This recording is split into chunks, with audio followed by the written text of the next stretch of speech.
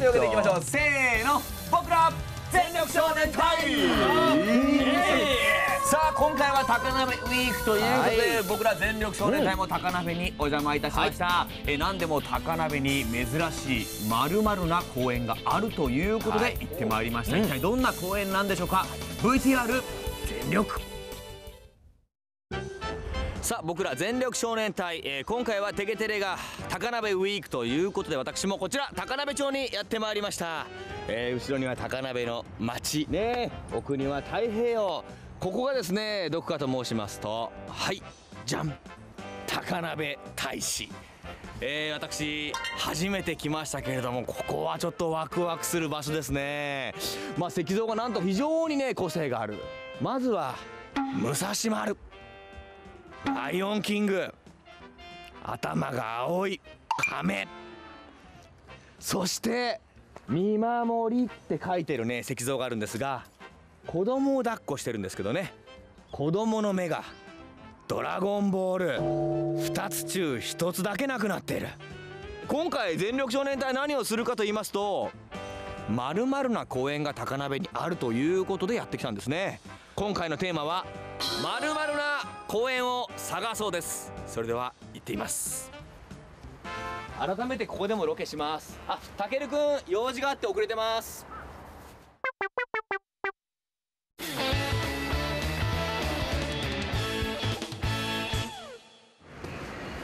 人発見しました。ちょっと一個質問があるんですけどあの高鍋にちょっとユニークな公園があると、なんか形が変わったものがある公園があるって聞いたんですけどなんかご存知ないですか？ないですね。私隣の川南から来たの。残念。今高鍋になんかちょっとあの変わった形のものがある公園？でそれ探しに今来てるんですけどなんか情報ないですか？いや知らないですね。高鍋の方。いやしないです。あ宮崎市内。またです。また町外の方ゲットしてしまいました。あら？MCN 発見。ええ。ここ聞いてみましょうか。ねえ。ちょっと一個聞きたいことあるんですけど高鍋にちょっと変わったものがある公園があるって聞いてやってきたんですよ。公園。うーん川崎さん。すいません。ブティックですね。ちょっと聞いてみましょうかすいませんお忙しいところ。公園情報何かあります？公園、ええ。高鍋の？なんか変わったものがあるって聞いたんですよ。何？何？何？なんだなんだ？あれ？わかった。おわかった。おカリスマ店員が。お。があるところじゃないですか。があるんですか？近い？こっから。近いかな。近い？あ僕は行かないですよ。今一緒に行ってもらえますかって言おうと思ったらここまでさあえー僕の相方たけるくんが登場しました。はいすいません。ね。え遅くなりました。いやいやいろんな人にインタビューして、、はい。ろんな街の声いただいてはまるまるがある公園に今来てます。ただあのディレクターはい。がこっからちょっと進めさせてくれないんですね、なのでこっから僕らははい。目隠ししてなるほど。吸います、せーの。1 2 3 4 5せーの。のおお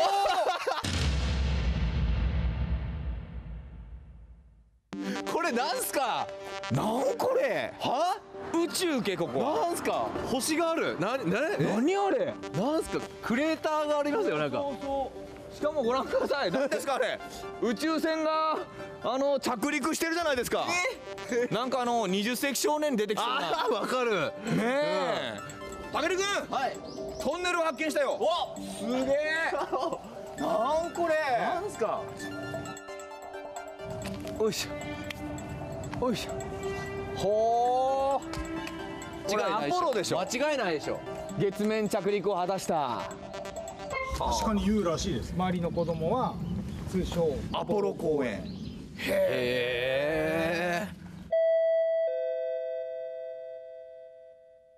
よくこの公園で遊ぶの？はい。あれ？この公園名前なんて言ったっけ？アポロ公園。いただきました健太君。やっぱ言うんやね。ここはアポロ公園なんだね。はい。たける見てこれ。まさかの？滑り台。うわめっちゃすげえ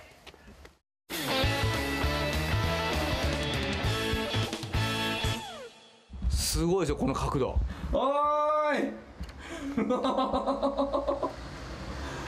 この休憩車大丈夫これ。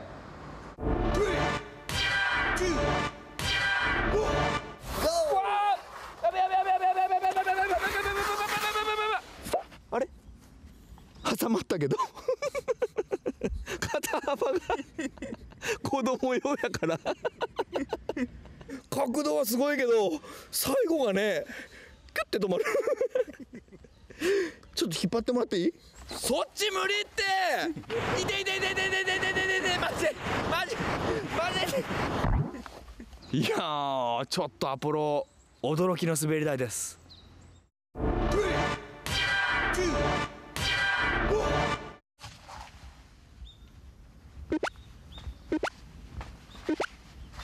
どうした？肩が張って滑れないっす。これ。残念やったな。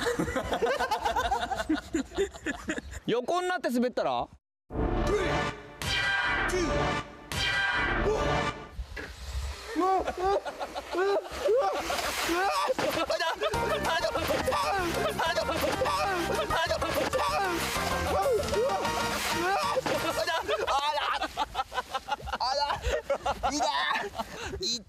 横すごいスピードであの段差を落ちたけどたけるくん今来たばかりなのに。ねいきなりこれ？大丈夫？大丈夫です大丈夫です。さあたけるくん、はい。このアポロ公園なんですけど、はい。これいつ頃できたか情報があります。あら。ディレクターがはい。役場にテレフォン、わお、え昭和ん。51年11月にできております。待て待て待て待て。37年前です。すげえ。ねえ結構前にできたんですよね、そしてもう一つ情報。なんでしょなんと、うはい。これに似たものはい。宮崎市内にもあるかもという話 カモなんですね。ええ。えーありますもし視聴者の方情報があればテゲテレまでお寄せください。I look at clear blue, blue sky and feel gentle wind on cheeks. というわけで、えー高鍋ウィークということで、えー全力少年隊も高鍋からお送りしました、はい。ありがとうございました。拍手ありがとうありがとう。拍手ありがとう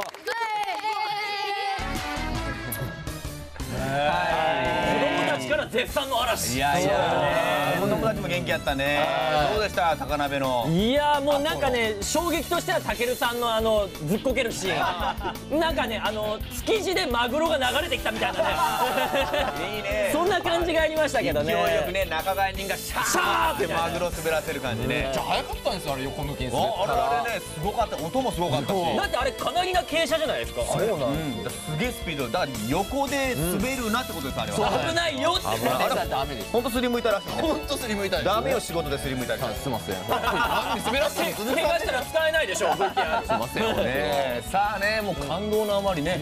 そうですよ涙した言葉が出ないっすわ。どう佐藤君。いややっぱりねあの身近にああいう自然が残ってる公園があるのはねすごいと思う。いや言うほど大自然はい。あったわいやでも今ね。ないよあんだけの広さで。ない。37年。はコメントが全然見つからない顔してますよ。目が泳いでる。目が泳いでますよい。あるやろいろいろ。ね野球とかできていいよ。だなって佐藤君はもうあんまりやわ。俺らが高鍋まで行って大しとるのに。高鍋ウィークです見つからんよとか。いやいやコメントすごいっすよ。すごいなと思った。すごくねえからねこいやれいい公園やなと思った。とか。お前言えよ。おお前がすごい。あれやろ？はい？ブティックに一番。僕はあのアポロ公園の情報をという。アポロ公園の情報。僕のコメントはもう？いい。ねあのアポロ公園なんですけれどもね、宮崎市にも似たような公園があるという情報があるんですよ。あるかもでしょ。あるかもなんですね、で他にもあの、まあ、宮崎市外でもですね、えーそういった情報があればぜひこのケーブルエリア内であれば教えていただきたいと思います。ぜひとも。えーそしてそれ以外にもですね面白い企画があったらどうぞお送りください。よろしくお願いします。急に間口を広げるっていうね。緊急しておりますので、ネタ不足ということでえー今後もね、えー全力少年隊高鍋の皆さんもお世話になりました。ありがとうございました。はい以上僕ら全力少年隊のコーナーでした。さあ CM の後はパームス情報です